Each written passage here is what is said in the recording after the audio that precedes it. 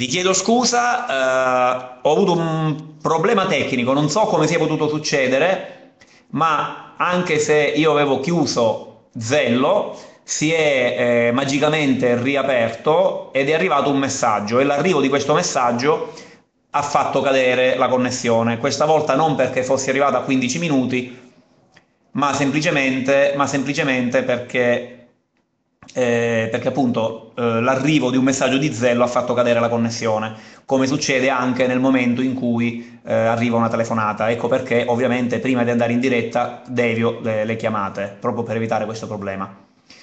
Adesso dite che non si vede niente, aspetto qualche secondo per capire se è perché ero caduto o se veramente salvo ci piace, pensavamo che entrassi nello staff della cosa, dice Ivano Perrucci. Bah, eh, allora, eh, lo staff della cosa è una definizione un po' generica, in un certo senso facciamo, noi di Salvo 5.0 facciamo parte dello staff della cosa, perché come avrete notato se ci seguite il mercoledì sera, ehm, le nostre trasmissioni serali appunto molto spesso vengono eh, replicate sulla cosa, quindi facciamo parte dello staff in un certo senso. Così come tanti altri possono far parte, perché la cosa alla fine è il canale ufficiale del blog di Beppe Grillo ed è un grande contenitore. Quindi molti possono partecipare, possono contribuire, possono mandare dei, eh, dei, mm, dei contenuti e noi siamo fra questi molti. Quindi praticamente siamo, io ritengo di poter dire di far parte dello staff, ovviamente appunto come freelance, un po' come i giornalisti che eh, ok, abbiamo di nuovo perso il sincronismo fra audio e video. Pazienza, andiamo avanti lo stesso.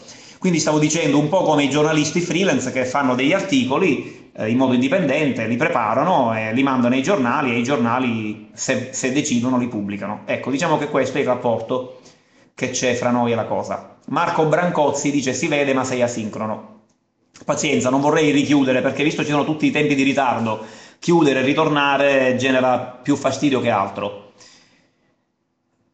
Eh, vabbè, no, Zello in questo momento è disattivato, quindi non dovrebbe succhiare banda. Credo che siano più che altro, come scrive correttamente Luigi Conti, problemi Ustream. Infatti, immagino che sia proprio così.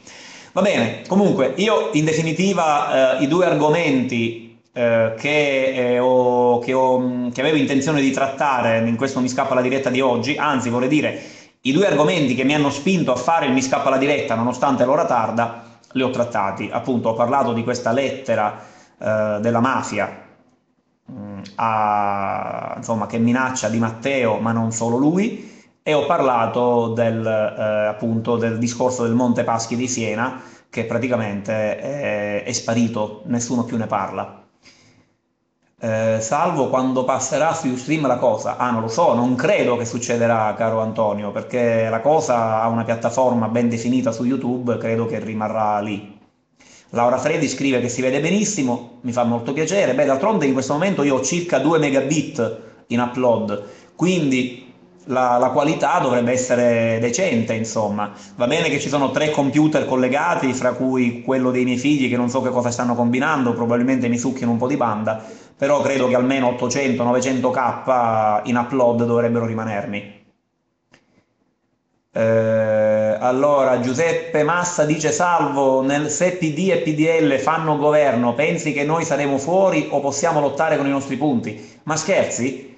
Un'opposizione forte con 163 parlamentari, ma tu non hai idea di quello che può fare essendo fuori dal governo. Questo è il motivo per cui non ci preoccupiamo tanto uh, del fatto di fare un governo alleandoci, quindi depotenziandoci, mischiandoci, quindi sporcandoci. È ovvio che noi o andiamo al governo da soli, perché gli italiani ci danno la forza di andare al governo, non è necessario il 100%, basta anche il 30%, il 31%, il 32%, oppure stiamo all'opposizione. E ti posso garantire che nel momento in cui si comincia a lavorare, perché il problema è che le Camere ancora non stanno lavorando, perché le commissioni non si, non si riuniscono, quindi questo è il vero problema, ma questo ai partiti non interessa, loro dicono che noi siamo monelli, siamo poco responsabili perché non appoggiamo nessun governo fatto dai partiti però nessuno invece si vuole rendere conto che potremmo già fare tantissime cose attivando le commissioni e mandando avanti il lavoro alla Camera.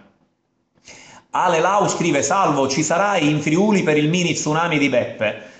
Eh, guarda Ale, eh, potrebbe anche succedere, non, non, te lo so dire ancora in questo momento, manca ancora un po' di tempo, vedremo, vedremo, probabilmente sì, però non sono in grado di confermartelo per il momento.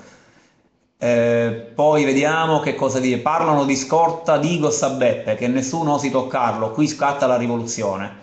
Allora, caro Gianoz67, io dico che nel momento in cui il popolo italiano, o una buona parte di esso, si stringe intorno al Movimento 5 Stelle, non ci tocca nessuno.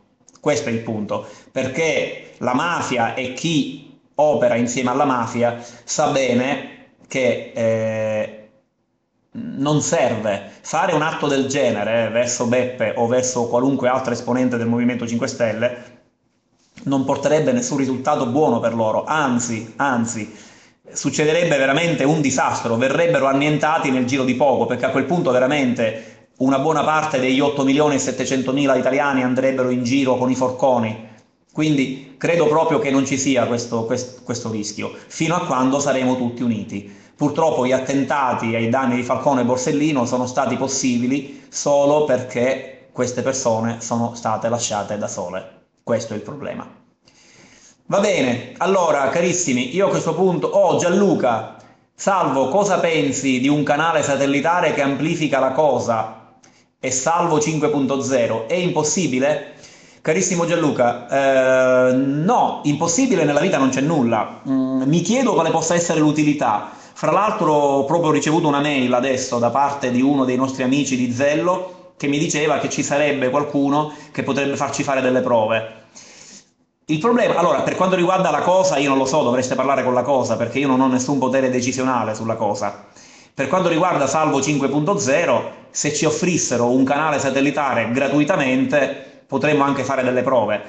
Il mio dubbio è che probabilmente nessuno andrebbe a guardare questo canale, perché, come dicevo ieri nella chat di Zello, dicevo, mh, per, eh, per essere visti i nostri spettatori devono essere curiosi. Allora, se già siamo arrivati al 25.5% solo con la rete e con i comizi in piazza, vuol dire che un quarto degli elettori hanno avuto la curiosità di andare a informarsi. Mentre ci sono altri tre quarti che non hanno avuto questa curiosità. Allora, anche se noi avessimo, eh, avessimo ehm, un canale satellitare, non è detto che la gente andrebbe su quel canale, perché poi parliamoci chiaro, se noi prendiamo Rai 1, Rai 2 Rai 3, Rete 4, Canale 5, Italia 1 e la 7, credo che questi sette canali alla fine coprono circa il 90, forse 95% del totale che si vede in televisione. Vabbè, poi c'è Sky in effetti, però diciamo non lo so, magari non voglio buttare numeri a casaccio visto che non ho fatto uno studio, però secondo me, insomma, la stragrande maggioranza degli italiani guardano questi sette canali più, eh, questi sette canali qui, i sette, insomma, classici. Poi vabbè c'è chi guarda Sky, eccetera. Ecco, se noi avessimo un canale anonimo mh, mm, sul satellite, io credo che ci guarderebbero veramente pochissime persone. Cioè, se in una trasmissione di Salvo 5.0 ci guardano mille persone in diretta e altre 5-6 mila in differita, credo che avendo un canale satellitare non aumenterebbe di molto la penetrazione delle cose che abbiamo da dire verso coloro che non sono curiosi. Sì, avremmo magari un po' di curiosi che non hanno internet e ci guardano via satellite, ma ne dubito. Ma sicuramente tutti quelli non curiosi che continuano a guardare il mainstream, Rai 1, Rai 2, Rai 3, eccetera, eccetera, continueranno a essere non curiosi. E quindi per me è quasi inutile fare un esperimento del genere. Ciò detto, eh, dico che eh, se vogliamo fare questo esperimento, se c'è qualcuno che ci offre un canale satellitare gratuito, sottolineo, potremmo anche fare questo esperimento e magari potremmo scoprire che io mi sbagli. C'è un, un signore che si chiama Cazzo Solitario, vabbè, eh, complimenti per la scelta del nick, che dice ma c'è un modo per chattare con Salvo. Allora, eh, c'è un modo per chattare con tutta la comunità legata a Salvo 5.0, si trova su Zello, ok? Zello, prova a installarti l'applicazione e in quel modo puoi chattare con tutta la comunità di Salvo 5.0. Ogni tanto ci sono anch'io sul canale, eh, ma eh, ovviamente non sempre. Ogni tanto ci sono e capita anche di, di, di, scambiare due chiacchiere con chi è su quel canale. Bene, Sergio Schiru dice che Matteo, immagino parlasse di Matteo Ponzano, diceva che si può andare su un canale digitale, non quello satellitare. Bene, se l'ha detto, allora ecco la risposta alla domanda di chi la poneva prima. Ecco, mi piace quello che scrive Lauri Tesserin, mi piace tantissimo.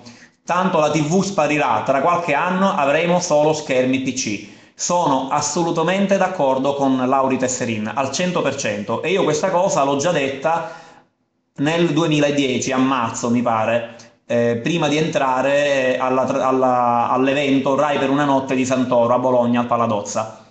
Quindi non so ancora quanto ci vorrà, ma succederà molto presto. Io già vedo che i sedicenni, i diciassettenni, insomma, i ragazzi della nuova generazione guardano pochissima televisione, guardano quello che a loro interessa su YouTube. Va bene, oh, ecco Folgore, salvo, ti aspetto presto caro, spero tu venga presto, ma sì, prima o poi verrò a Roma, eh? Eh, assolutamente. L'ho detto che magari un fine settimana eh, così farò qualche giorno di vacanza e così abbraccerò un po' di parlamentari e un po' di amici romani, fra cui tu sicuramente, caro Alessandro. Va bene, carissimi amici, io vi saluto. Alla fine, dopo i 15 minuti dove ho detto qualcosa relativa alle notizie che mi hanno colpito, questi altri sono stati solamente un, un intrattenimento eh, reciproco. Ho letto un po' di commenti, ho risposto e ci siamo tenuti compagnia. Io vi saluto, vi abbraccio, vi auguro una buona domenica, un buon fine sabato. Sono le 21.13, quindi adesso vado mm, a pensare a cosa cenare, a cosa mangiare stasera a cena. Eh, che cosa dire? Niente, un abbraccio, ci vediamo domani, eh, non so dirvi a che ora farò il mi scappa la diretta, ma se andate su Zello lo saprete con qualche minuto di anticipo. E magari oggi, ecco, poco fa mio figlio Federico che era qui con me mi diceva ma perché non avverti tutti con Facebook e con Twitter? Ha ragione, fra l'altro spesso l'ho fatto in passato di mandare un tweet che poi viene automaticamente replicato anche su Facebook per dire fra poco mi scappa la diretta. Oggi non ci ho pensato e in effetti è stato un errore. Va bene, ragazzi, vi saluto, un abbraccio a tutti, grazie, ci vediamo presto. Ciao.